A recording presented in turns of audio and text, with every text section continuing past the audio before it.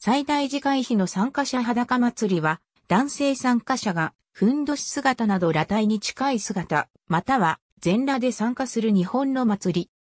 裸祭りとは、祭りの参加者が生誕した時と同じ裸体となることで正常無垢の姿で神との交渉を行う神聖な祭事とされ、みそぎとして役を落として新たに生まれ変わる神事と闘争を伴い、その年の五穀豊穣、豊作祈願、大量祈願を占う神事の二つに大別されている。裸祭りは正月の修正会の最後か、川祭り、名越祭りの折に開催されることが多い。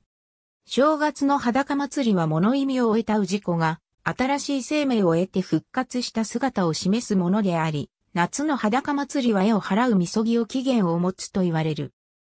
裸祭りは全国的に行われており、正月の裸祭りでは、岩手県欧州市水沢区の黒い寺祖民祭、愛知県稲沢市の尾張大国霊神社の夏井神事、岡山市最大寺の会議、福岡市東区の箱崎宮の玉瀬せりなどがあり、夏の裸祭りでは、東京都品川区江原神社の天皇祭り、京都市鴨神社の名越祭りなどが著名。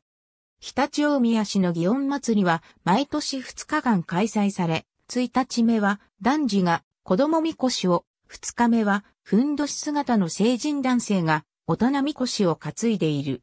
参加者は基本的に多くが男性である。男性が裸で参加する一方で、着衣の女性がそれを見物し撮影することが問題となったため、近年では全裸で行う祭りは少なく、ふんどしなどを着用した上で参加するケースが多くなっている。宗教学者、崎明夫によると、少なくとも過去には女性による裸祭りがあったらしい。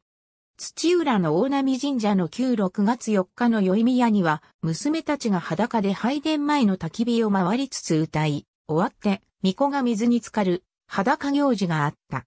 宮古島には、裸体で山ごもりする行事があり、ノロが全裸で秘儀を行った。奄美大島にもノロが裸で渓流に入る秘儀がある。上記のようにこれらは、一般大衆が参加するような祭りではない。本尊の農業の神、毘沙門天が開帳される初詣の正月3日に、周辺の農民が多数訪れ、早く参拝しようと押し合う中で次第に裸となり、裸押し合いが始まったとされ、1841年発売の北越切符でも当時の参拝者が裸で押し合う様子が描写されている。時代を経て長年3月3日に行われてきたが、2020年より3月最初の土曜日に変更となった。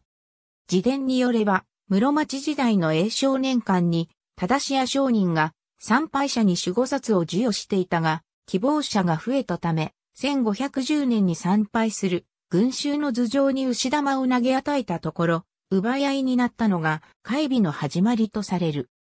札を奪い合う群衆は当初は着衣だったが、動きやすくなるために次第に裸になっていったと推測され、1661年の年を持つ演技本に海洋初期の様子を表した絵図があり、裸と着衣の人間が入り混じって描かれている。ありがとうございます。